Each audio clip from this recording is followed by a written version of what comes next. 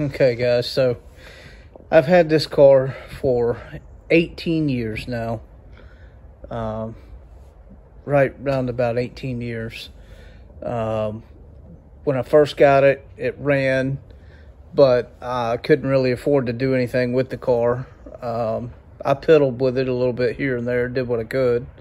Um, but I had sold a previous Mustang I had, a Fox body, um, just in order to be able to buy this. And, uh, you know, it's one of those things that just kept getting put on the back burner. Didn't have the money, not now, can't do it now. You know, it's got to wait.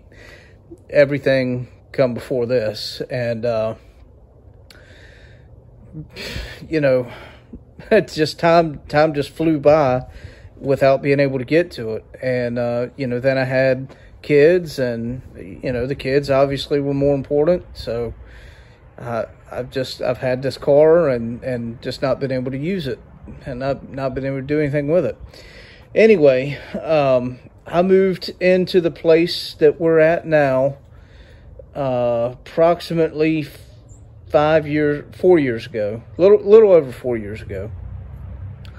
And uh, when I moved over here, the car went from one garage to another, and it's sat there, uh, you know, ever since. The thing hadn't ran in, I've had it for 18 years, it ain't ran in 17 years. So, um, you know, it, it'll be a process even to see if it'll run again. Um, I'm sure it will.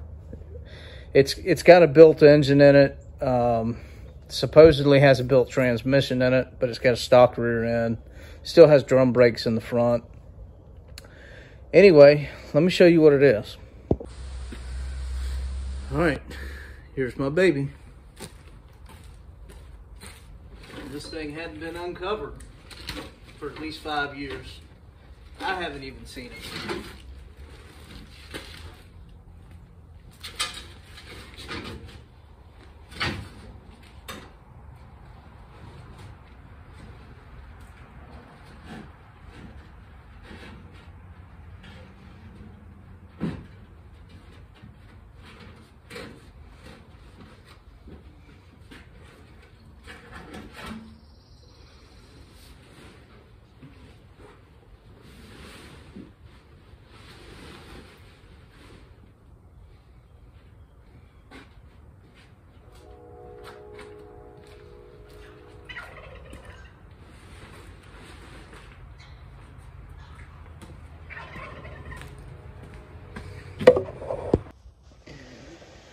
All right, guys, so here's my baby.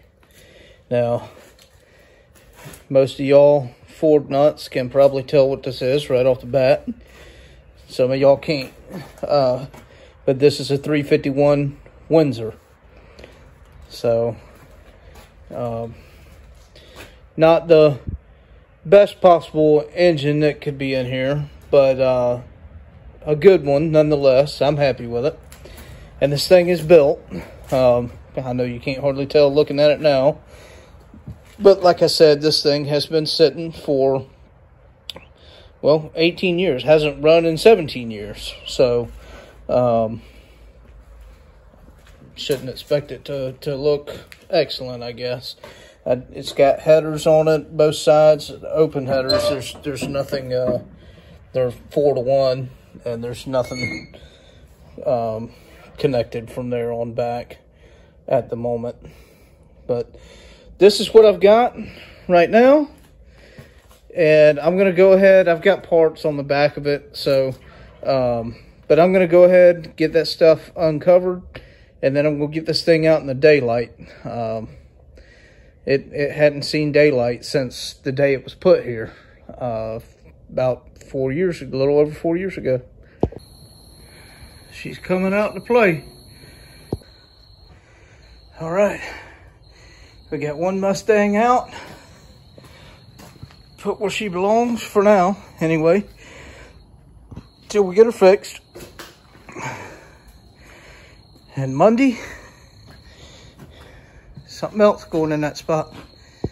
I got in here and took the back seat out. Forgot to turn the camera back on.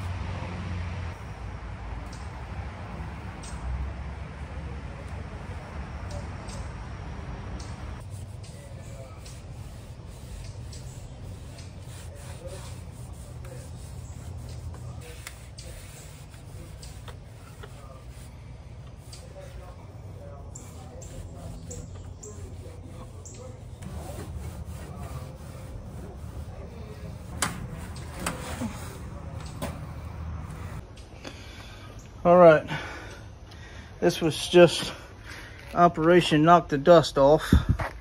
Uh, nobody wants to work on a dirty car. So, and it's obviously still not clean. When I say knock the dust off, that's, that's all I did. It's not detailed, it's just wiped down. Get rid of all the dust and dirt and uh, anything from any critters that might have been crawling in here. But anyway, we got all that wiped down. So now it's clean enough to start working on on the inside. We got a lot of wiring and stuff to do. Uh, man, we got we got all kinds of stuff to do. I mean, who am I kidding? This thing is it, it's it's nowhere. It's we're starting at ground zero. We got to rebuild this entire car. So cleaning this up and don't even put a dent in the project. I sprayed a little water on her. That's about it. About to soak it down and spray all that gunk off so we can kind of see what we're working with a little better.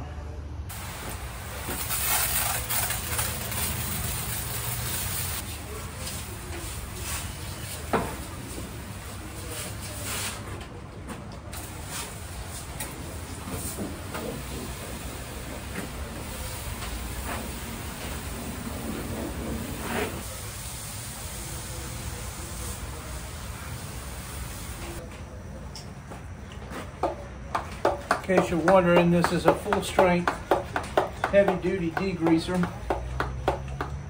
And the reason why I'm using this is because this thing is absolutely teetotally filthy. And I'm not worried about it doing any damage to the paint or uh, anything else for that matter because this thing is 100% most definitely getting painted and probably a lot of body work. I, I hope it don't need a lot, but let's face it, it probably does. But either way, it's going to get body work and painted. So this industrial degreaser is not to hurt a thing.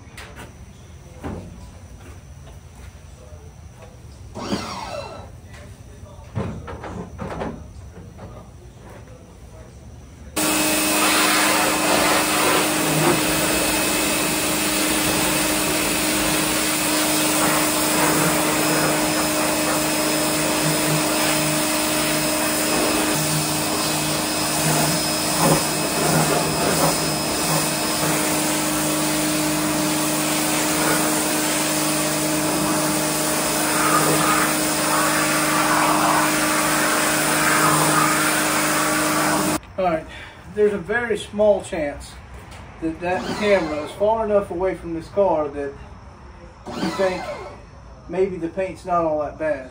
Let me reassure you, the paint is all that bad. Uh, in case you were wondering, when I got this Mustang, I was living in Florida and some of it was bare metal. Um, so I had to do something about it. So I primered it and painted it with this uh, red, mostly just to keep it from rusting. Um, and it was that BS, you know, paint shop, Dupli-Color stuff you buy at the local AutoZone.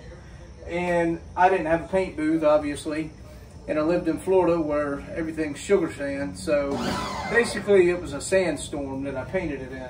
And you can sure see it and feel it. I mean, it's rough, really rough.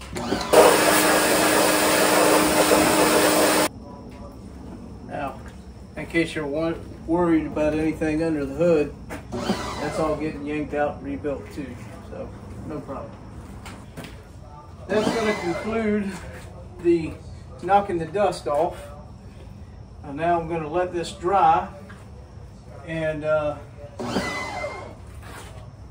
it's close to the end of the day already.